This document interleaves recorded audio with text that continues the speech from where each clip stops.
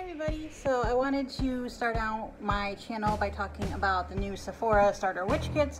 They look really cool. Um, I like the fact that there's a really cool tarot design because I'm used to the Rider-Waite system. I'm used to, you know, the traditional suits that don't that don't look unique in a tarot deck. So I'm really excited to see that. I think it's really cool they included some um, stones in there, they included some essential oils, there's some makeup, that's really cool. My big concern with this whole thing, and I say this very lightly because I don't mean to offend anybody and I'm not here to put anybody down or anything like that. Um, I feel that there's going to be a very big spark in witchcraft and interest, and the thing is, if you don't know what witchcraft really is, you shouldn't be getting involved with it. Um, and what I mean by that is I see a lot of people who are like, oh cool, witchcraft, like I can do whatever I want. No, that's that's not witchcraft, that's not how it works. I don't do a spell unless it's strictly for self-improvement, meaning increased focus, meaning bringing forth positivity, but it has to benefit everybody if I'm going to do it, or else I don't do spells.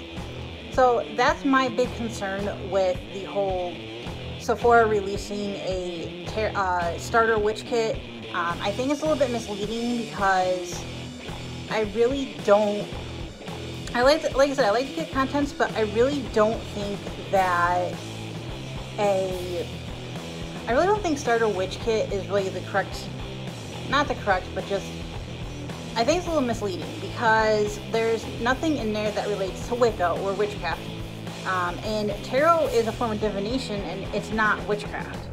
So I think that there's a little bit of a mix up with the name. I think they probably should have revamped it a little bit. Maybe something like New Age Hipster Box or just something that, and of course my creativity right now is a little bit out the window because I just finished writing so I'm a little tired.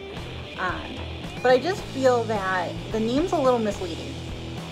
Um, I really don't feel like Sephora should be putting out spells. Um, I just, I mean, Sephora does makeup and they have fabulous things. Don't get me wrong, I love going to Sephora and I'll blow money in there all day on cruelty-free products. But I just don't feel that, especially with today's society and the way society already sees Wiccans and witches already, I really don't feel like this box, um, this box might raise a little bit of um, interest in maybe not, not even a bad way, just not a very great way. So that's kind of my ramble for today. You guys can comment below, tell me what you think. If you like this channel, subscribe. Um, I am probably going to be getting a box and then and then giving a review and letting you guys know what you think because I really do like the, tar the tarot cards. That I'm excited for.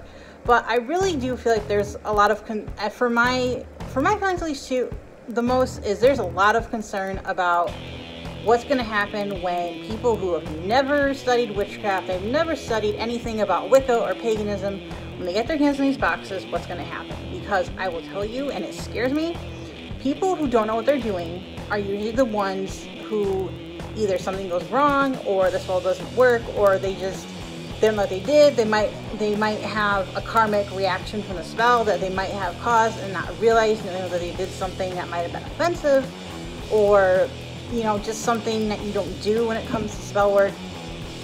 So I really just feel that this, I, I can't wait to see it, but, and you know, I'm even nervous to review it, but I am looking forward to seeing it. But my reaction is pretty much, I'm 50-50 on it. Um, I'm excited for it, don't get me wrong, but at the same time, I am definitely concerned about what's going to happen because my whole other thing too is well, what's going to happen when the press starts wanting to interview different witches, they start wanting to interview different pagans, and they start seeing that the thing about Wicca and pagans is we're all different. Um, I happen to be more closely devoted to Druidism, so you're going to talk to someone who's a Druid, you're going to talk to somebody else who might be into the dark arts, and that's their, you know, that's their thing. I'm not into that, but that and that's the problem is everybody's a little bit different. So, like I said, I think it's going to cause a lot of interesting reactions. Um, I'm definitely a little wary because the last thing I want is some neighbor knocking on my door and being like, "Oh, so you're a witch? This is what you're into." And I don't personally call myself a witch because I don't. I mean, I just don't really like calling myself a witch. But like I said, I really just think that this box I'm excited for it, I am, but like I said, uh, pretty concerned.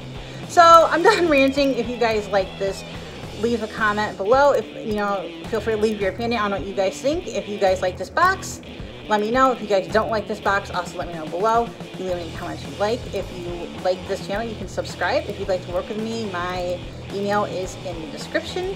Um, you can also check out my blog, and I will talk to everybody later. I hope you guys have a wonderful week.